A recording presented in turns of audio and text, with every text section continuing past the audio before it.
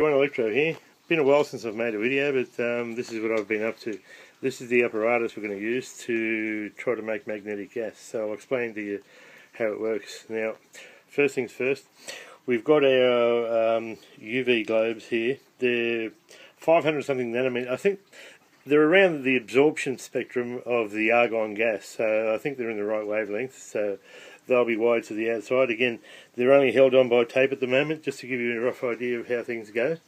And, um, well, the next step is, uh, for the tungsten boat, which we've got in there, the way we're going to heat that up, that is through the microwave oven transformer that I've uh, modified with Coltus to make metal. Uh, that's powered by Variac, or controlled by Variac there. Now, I got this design from Applied Science, he's used a very similar method to heat his tungsten boats. I think he was plating mirrors in one of his videos, and I've um, I've taken that idea from him. So what I've used as electrodes is copper pipe filled with investment material for the heat resistance, and to so I can pull a vacuum in the chamber, and then bent over, and the tungsten boat is screwed onto that under the tile. So this is all goes through a tile, and under the tile the, the copper tubes go through there and they've been plastered in and they go to the bottom there and that's where the microwave oven transformer is being connected to. Now I'll give you a brief demonstration of that. That's the main switch for it. Uh, you can see that there's some yellow oxide from the tungsten boat being heated up repeatedly but I'll just turn the variac up and there you go. That's what we'll be using as a heat source to vaporize the metal. Now as you can see that gets pretty hot. And you can see there on the side I've got some um, stainless steel pipe protecting where the tubes the ionizing tubes will go up into the vacuum chamber. I'll just turn that down. Now as you saw before, the vacuum chamber sits on top of there. The vacuum will be pulled from there, and then the magnetic gas hopefully extracted from this port here. Now, on the bottom of the the tile there is the inlet for the the argon. It's just a um, normal fitting there that I can connect there it is there. I can connect a, a hose to that. Now what I plan to do is uh, feed the argon in through this tube here, which will have another ionizing tube in there. This will primarily or preliminarily uh, ionize the argon before it gets injected into the vacuum chamber there. Now, it's important that I try to vaporize things in a vacuum because the two materials I've got here is the, the neo magnet and some iron laminations which I've cut into small pieces.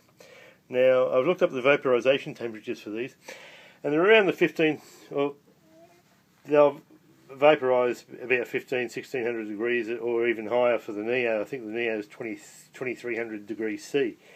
But in a vacuum uh, I can get the Neo to vaporize at about 1200 C. Now the tungsten boat and same with the iron the tungsten boat only goes up to 1800 C, so I can't bring the metals up to their boiling point.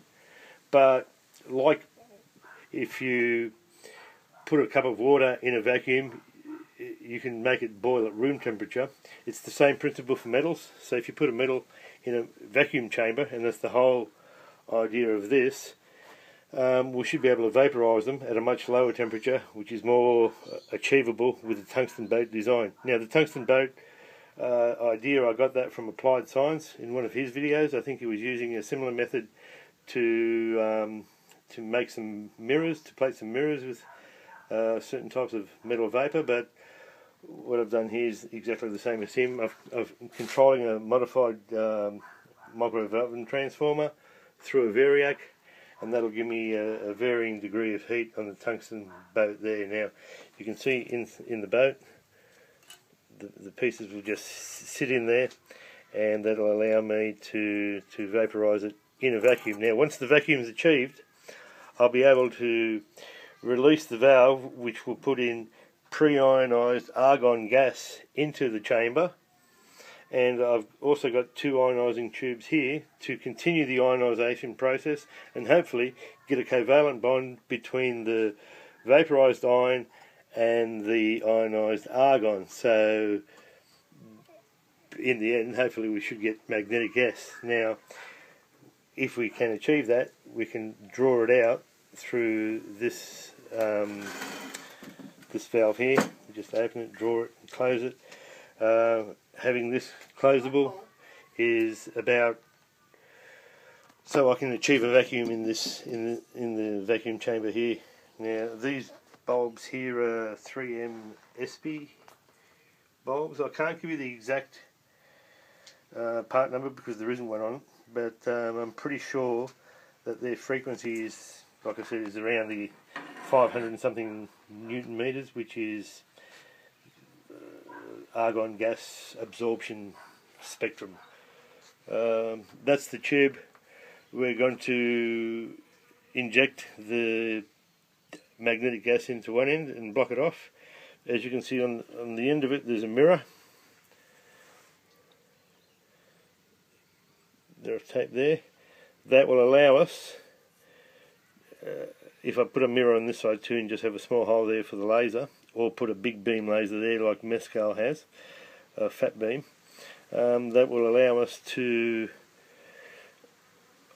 basically shine a light through the magnetic gas to test out Meyer's principle. This area here we've just machined down to get to reduce the wall thickness there so we get the copper coils closer to the magnetic gas. So because this is just a, a test piece we, we're only going to use one coil. Uh, put the gas in, have one coil and basically flash the laser in and out of there and see if we can get a uh, any sort of signal out of the core that we've landed on the outside there. Now for the ionization or for the ionizing uh, I've got three different methods that I can use. This is the, the transformer that I've used in the past. You've all seen examples of that. This is a variable frequency drive that Mescal has donated. Uh, it works off a car coil which I haven't got yet and a 9 volt battery but um, this is for a Jacob's ladder kit so this will be applicable for that as well and also the alternator VIC now we have made some progressions with this we're not sure if it's going to work or not but what the hell we're going to give it a go anyway so all these three devices will at some point be connected to the ionization tubes either together or one device on these two and one device on that, whatever, whatever combination we need. I'll just give you another look under there. That's how everything's plumbed up. Now, for our seal here for the bell jar, we're using flexible silicon. It's a Selleys product, wet area silicon there, white, and uh, that works pretty good. Also for the bell jar itself, what I've done is gone to the $2 shop and I got myself a glass vase. It's fairly thick and that's what I'm using. Now we've drilled the top there with a diamond tile drill. Same with these holes here, we've drilled them with tile drills.